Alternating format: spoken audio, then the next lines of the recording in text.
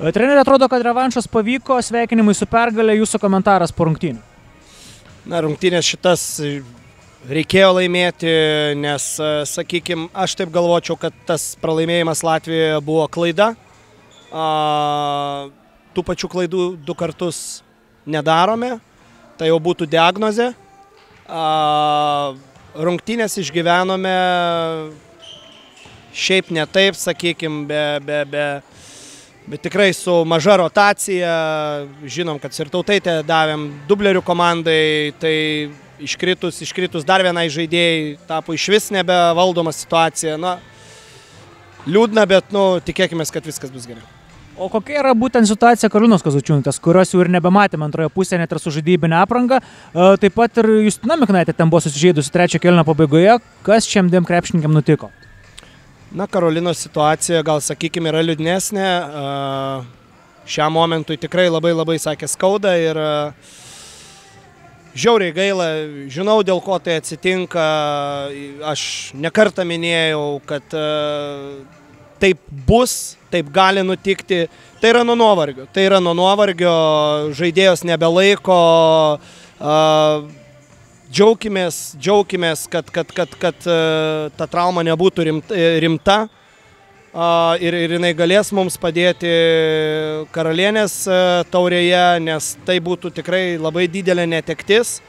Miknaitai, nieko ten buvusios žaizdos, e, kažkas, e, tai nieko, nieko rimto, bet tai irgi parodo, kad žaidėjas, nepaisant tikrai didelių, didelių, didelių krūvių, griūna dėl kiekvieno kamulio aukojasi ir pagarba joms, ką jos daro, taisytinų dalykų ir pastebėjimų turiu nemažai, bet visa tai nu, tikrai nublanksta prieš, prieš jų tą pasiaukojimą ir tą norą išėjimą į aikštelę be skundų, be nieko.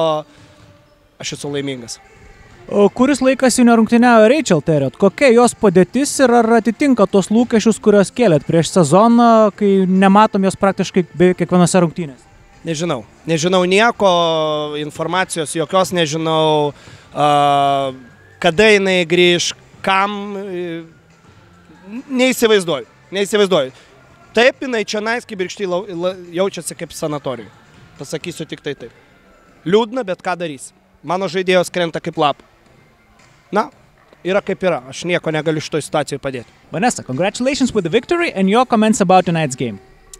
Well, I think we all played well together as a team, and we always found each other when we were open, and we made shots. So I think it went pretty well today. Yeah. It was your third game in Kibirkštis team. How do you feel about that?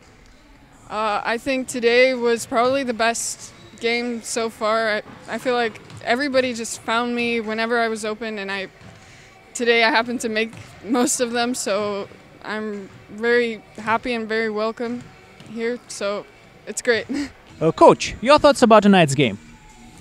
Uh, first of all, congratulations to Kibirkštis. They finally beat us. we were the only undefeated team till now. Yeah, that's a joke. But yeah, they obviously a Euro Cup team, a great team. Uh, uh, they have a huge, huge size advantage uh, for our young players. That's that's the best the best way for development to play against better players, national team players. Uh, unfortunately, Rachel didn't play. It's better to play against also foreign players. Uh, of course, Lithuanians are foreign for most Latvians, but yeah, uh, obviously something worked at the beginning. Uh, but uh, our bench was a little bit shorter than usual, so as soon as we started rotating the players, the game kind of slipped away. And as soon as we gave a Euro Cup team a 20 point lead, that's it, that's game over. Uh, I can scream, shout, change tactics and whatever. It doesn't matter because the confidence is on the other side. And uh, I love that, uh, what was her name? Uh, Vanessa used her uh, opportunity. She actually played against the same age girls, so it was good for her to also play at this level. And I, I love that she was uh, confident enough to take the, all those shots because this is basically what we want to teach. And it is different to take those shots when you're up by 40, and it's different when you're down by 10 or 20. So it was a great game, and uh, thanks for the other team for nice welcoming us here. Uh, what can your team take from a game like this? Well, obviously, a lot of things. Like, like uh, for example, the last few minutes, I allowed uh, one of the young bigs to play, and we didn't have foul limit. And I told her, "Hey, coach is screaming, feeding the post, feeding the post. We'll make a foul. Don't allow her to take the ball right below the rim and make a basket. She didn't. So we can watch video and say, hey, there were four situations where you were able to stop someone. You chose not to, and that's eight points. So, so something you can take something from anything. So we can lose by 100, by 10 points, or one point, or win by 10.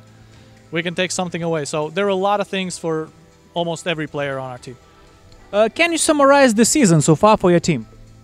This is an excellent season. I, I actually I couldn't dream of having a better season that we have. Okay, I'm saying this after a 40 point loss, but at the same time, our uh, score is 10-10.